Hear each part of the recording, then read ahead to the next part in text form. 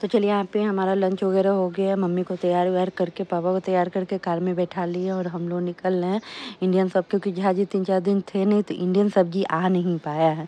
तो भाई इंडियन सब्ज़ी ग्रीन सब्ज़ी तो चाहिए। इसके लिए ना मम्मी हंस रही थी, साठ किलोमीटर कौन जाता है सब्ज़ी लाने के लिए? और साठ किलोमीटर कौन आता है सब्ज़ी लेके? और यहाँ पे देख सकते हैं, मिठाई आया था, उसको पैक कर रहे हैं मिठाई को। क्योंकि बगल में जो फ्रेंड लोग हैं ना, उनको देना, वो लोग भी लेके आते हैं इंडिया से तो हमें देते हैं तो भाई उनको भी तो देना चाहिए। तो यहाँ पे पैक कर रहे हैं तो मम्मी पूछ रही है, क्या लेफ़्ट और राइट इंडियन है क्या? मतलब लगता है ना कि जैसे इंडिया में घर हर मतलब छोड़ छोड़ के सब पड़ोसी रहते हैं अपने। बोले नहीं, मेरे बगल उगल में, मेरे मोहल्ला में तो भाई इंडियन नहीं है। तीन चार घर छोड़ के इंडियन है, लेकिन मेरे सोसाइटी में जो ट्वेल्व फैमिली का सोसाइटी है ना, उसमें एक भी इंडियन नहीं है। समझे तो यहाँ पे बस पैकिंग, सैकिंग, मिठाई का कर रहे हैं, उसके बाद देने जाएँगे। और अभी इंडियन शॉप से आए हैं, सारा सामान वैसा ही रखा, उसको हमको निकालना है और सबको वॉश करना है। फिर से तीन चार घंटे बैठेंगे, फिर उसको कट करना है। चलो मम्मी है तो मम्मी बहुत हेल्प कर देगी।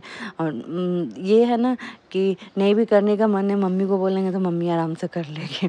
और पता ही आप लोग को हम सब्ज़ी लेके आते हैं तो उसको कट करते हैं स्टोर करते हैं, समझे?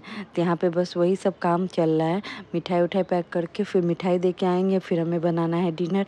तो बहुत सारा काम है और बैग जो है ना, उसको भी सोचे हैं ना सात आठ बैग है जो रात मतलब रात में बैठ के आराम से खोलेंगे। सारा बैग तो एक साथ शेयर नहीं कर पाएँगे, बट जितना हो सके थोड़ा थोड़ा बैग ना आप लोग के साथ शेयर करेंगे कि क्या क्या इंडिया से आया है। तो चलिए, बस ऋषित कुमार का ऋषित नानी को, ऋषित बहुत एक्साइटेड है, नानी को देख के यहाँ पे देख रहे हैं। बहुत ज़्यादा, बहुत खुश है। उसके लिए भी अलग से भाई मिठाई आया, उस, वो जो जो डिमांड किया था ना, वो सारा मिठाई उठाई, सब कुछ आया है। तो चलिए यहाँ पे हमारा पैकिंग, सैकिंग हो चुका है और यहाँ पे सबको देने जाएँगे। और एक ही बार पैक कर लिए ना कि एक ही बार जाके दिया नहीं तो क्या होता है ना बार बार जाना, आना नहीं हो पाता। ऋषि तो भाई बहुत हैप्पी है, नानी के आने से। चलिए, फिर मिलते हैं आपसे नए शॉर्ट में। तब तक के लिए बाय